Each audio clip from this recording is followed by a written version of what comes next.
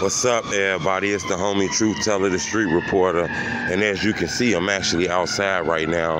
A lot of people always ask me about dispensaries in Chicago. They want to know how the weed game is. You know, it's a lot of people actually locked up for selling drugs, and weed is like one of the drugs a lot of people sell. A lot of people got a lot of cases, so the government then took that over and made it legal. This is actually a dispensary in Chicago by the name of Verilife. I go in here occasionally when you want to get that real za. You know, I'm gonna tell you something about the dispensaries. A lot of people don't realize. In this era, the way things is, that's about your safest way.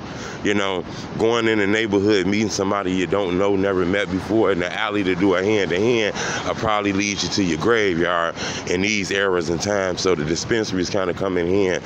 But it is things about it that's a little crooked. You know, we from the hood. We'll go get a three five for about 35 bucks. Some people charge you a little extra because they claim it's the czar. You know, might have to go up to about 45, 50. Shit, in this dispensary, you know, to get a three five of that czar about 85, 90 dollars. So they extra charging. So imagine how it is on the streets. A lot of people think that since the dispensaries opened up, that the street markets then died out. They done crashed out. Not really, shit. The street dudes are making a lot of money now because nobody really want to come out here and spend a hundred dollars on a three five. You know what I'm saying? So that's crazy. This actually a dispensary. That lady right there is actually like a person who shows you this computer that got a menu with all kind of weed on it, man. I'm talking about pound cake, mints, all kind of marijuana that you probably never thought you heard of. They got all kind of pictures on it. It kind of looked like a um, one of those brochures They're selling clothes and shoes like an old Eastbay magazine or something like that. But that lady right there give you your options. You go over there and tell her what you want. She gonna pull them up. You gonna figure it out. They got all kind of shit from waxes, uh, flour, you know, edibles, lighters, cigars, all kind of shit. Um, I noticed that this is a million dollar business. It's actually a security guard outside of the place when you walk in. He'll open the door for you. That's security. But um, in the hood, they got security too. So it's things in this corporate business that you see in the hood that's crazy. They got security. You know, I'm gonna tell you another thing that I don't think people realize is that it's people right now locked up doing 15 years for getting caught with a whole bunch of cannabis, getting caught with a lot of pounds of marijuana then the government made it legal. A lot of those guys are still locked up uh, while the government is making millions off of this shit. Then you got guys who was able to get out of jail from the weed case, but they record fucked up. You know, they're gonna have drug cases on their record when all of a sudden this shit is legal right now. So I don't think it was a lot of thinking about this. I just think the government realized there was a lot of money to be made, so they just jumped in. And now I'm actually talking to this lady too she's showing me all kind of things. I'm looking on this um, computer that she has. It got like all kind of pictures of marijuana. Uh, it asks you how strong do you want your shit. I always come in there and say, give me the strongest, which I believe is like the lemon cake. Uh, or I think they got some shit called gelato, uh, strawberry gelato. I think it's registering at like 33% THC, so that's a very strong one. The real Zosky you know. So she's showing me these things. I'm telling her exactly what I want. I don't want nothing big. I just told her I want like a three five, or maybe the strongest shit she got. Uh, she showed me a three five that I'm finna buy actually nine dollars.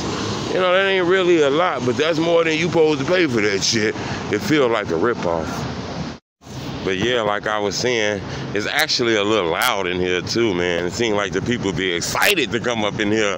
It's like a mall for weed. Uh, I will let you hear the noise that's going on inside of here, but actually they playing copyrighted music. I don't own the rights to the music, so I had to mute the video. So I'm gonna just describe what's going on. That's actually a famous baseball player.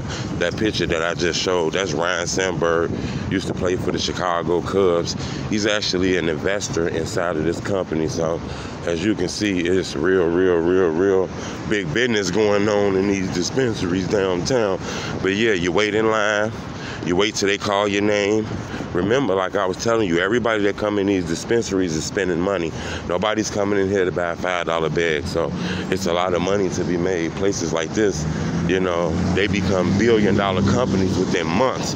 And I believe Verilife is like one of the companies that's leading the wave in the dispensaries and shit like that.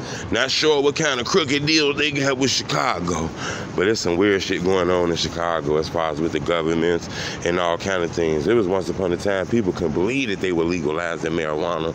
You know, it was going on in like California, Colorado. We never thought it'd hit Chicago, but since it did, everybody's out here buying the stuff. And then there's people in these lines who I would have never thought smoked gas. I would have never thought that lady be buying the za, you know. So when I came in, it's early in the morning. They just opened up the door. So a lot of people not out here right now. But if you come about 10, 11, 12 o'clock, it'd be a line long as hell outside, man. For some reason, it's around the Christmas time, so I guess people still laid up in the crib. I was able to come up here and not have a lot of traffic and shit outside. Remember, it's dangerous standing in them COVID lines and shit. Somebody will ride past and spot you. We actually seen that downtown with like FBG Duck who was standing outside in the COVID line uh, at a designer store when you know the ops ran past and spotted him. So shit get crazy. But uh, as you can see, they only got two workers working today. Uh, they got security and then they got a person to show you what kind of marijuana you want. So as you can see, I'm just waiting in line patiently for them to call me over. She's handling that customer right there. Um, this dispensary is in a real nice neighborhood too very nice neighborhood. But the crazy part is it's like three other dispensaries right around the corner from it. So they competing with each other, coming out with the best prices. They got like a coupon deal, a rebate deal. All this shit on marijuana. That's why I tell you, it's real crooked. It's funny that the government is even involved in something like this. But we're not gonna knock it because I like the gas, you know. And I do think this is the way it's supposed to be, man. If you're gonna sell people alcohol, you're gonna sell them cigarettes, then you should be able to sell them some marijuana. Now I don't know about no crack or that other stuff. That's some whole other thing. You need chemicals and all kind of shit to make that. So I just think that's a, a crash out thing, and I don't think that's cool. Uh, but as you can see, she finally called me over. It's crazy too, because it's almost like you at the the BMV. You know, you go to the line, you show your ID. They ask you to pull your face mask down, so I pulled my face mask down. She was able to see my face, see that it was me. Um, I hate to give you this step-by-step play like an announcer, but like I said, they was playing copyright music. I didn't want to upload the video because I didn't own the music. I'm pretty sure if you were YouTube, you know exactly how that's go. But um, I'm showing exactly what I want. This is the crazy part. She actually came to me with something that they got called shake, where they'll sell you the shake of the za, you know? So they'll give you like seven, eight grams of the shake for a decent price. I didn't know that that's what I ordered. So I end up telling the lady, I'm good on that. I ain't want the shake. Give me the strong and the shit that's put together. So she put that back and she got me something called Layer Lemon Cake Mints. So I end up getting that. I ain't gonna lie, it's decent too. I'm actually smoking it right now while I'm recording that video. I'm actually outside, uh, getting a little bit of air. You can hear the sirens and shit. But yeah, that's actually the lady right there. She's like a dispensary waiter. In the hood, we call them drug dealers. The government got a nice word for them, so they dispensary waiters. Uh, you can tip them and all kind of shit like that, which is crazy. They got like a reward program too. So if you go to these dispensaries every day, you get like five dollars off, ten dollars off. You know, when your birthday come, they'll give you like 15% off. So they give you reasons to want to shop with them. It's just crazy because in the hood, the drug dealers be like young thug looking ass niggas with tattoos on their face, game bankers, street niggas. With the government, that's a drug dealer right there, that lady right there. But they're gonna call them, you know, dispensary waiters or whatever professional name you want to put on it. But like I was saying, she got my order together, got dude to come out, bring me some good. She sending it back to him. Look, True Teller say he don't want no shaky shake. He cool on that. He want this flour put together. So she's showing me that she got that layer lemon cake mint out, uh, decent. I'm actually smoking it right now, trying my best not to cough. But you know, this is what it's like when you go in a dispensary. I wanted to show you guys this because a lot of people don't really understand that, you know, the government that took what a lot of these street cats, how you doing, took what a lot of these street cats was doing and made it their own, made a business out of this. We actually seen this happen a long time ago with like alcohol. That shit was being bootlegged and the government took that over. We seen that with like the lottery. That was some illegal bootleg ass shit and the government took that over. Now it looks like the same thing is happening with marijuana. You know, um, these guys are putting nice names to things that they used to put bad names to them, you know. What you guys call a dispensary waiter back in the day, you would call them people drug dealers, you know. What you was calling a dispensary back in the day, you was calling a trap house. You know, what you call uh, security back in the day, you was calling the lookout, you know. So the government then took what the street cats was doing and made a nice name out of that shit. I'm actually leaving now where the music stops, so I'm gonna continue the video right here.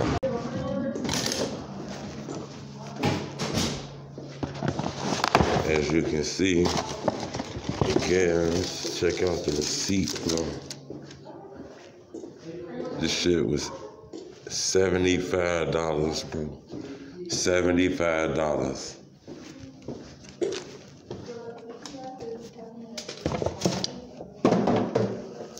Of the good gas.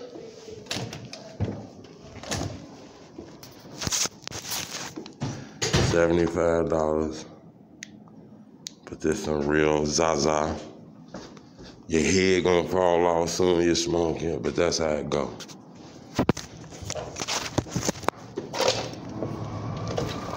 I appreciate it. So that's how it worked in the dispensary. Security guard opens up the dispensary. As you can see, the trap is juking. And everybody that go up in there, you got to remember, ain't nobody spending five dollars, ten dollars. Everybody going there spending seventy-five dollars or better. So I just left out of there with three customers. Pretty sure that's a couple hundred dollars they finna make, maybe off each person. Then there's three people outside. It was three people in line, and the place just opened up three minutes ago. Nate And they'd already probably done checked a couple thousand dollars in three minutes. So you got to understand this big business in them dispensaries, man, in Chicago. And most of them downtown, like down here. And them dispensaries are not in the hood. Most of them things are down here, man. But I wanted to show y'all that because to be honest with you, I feel like that shit crooked. There's so many people locked up right now for selling that shit. So many people in jails right now with with drug crime. So many people that got out of jail from selling weed, but they record fucked up. They got big time drug cases on their record, and then the government made it legal, and they out here selling dope, putting trap houses in the community. And then this is what they do, bro. They sell the weed and say it's recreational. They put professional names on it so they could get away with selling drugs. Then they call these places dispensaries when really they just drug houses, trap houses. The government crazy as hell, man. And to be honest, I don't really knock weed because I don't think weed is what people make it seem like. I've been smoking that shit. That shit feel like medicine, man. So, to each his own, man. I just wanted to show y'all that. You come up with your own opinions. You know, I wanted you guys to see what's going on in Chiraq. I don't want to just show you the drill shit and the street shit. I want to show you how the government be on that drill shit and street shit too. Police out here drilling young people. They out here selling drugs. Yeah, don't let that shit go over out here.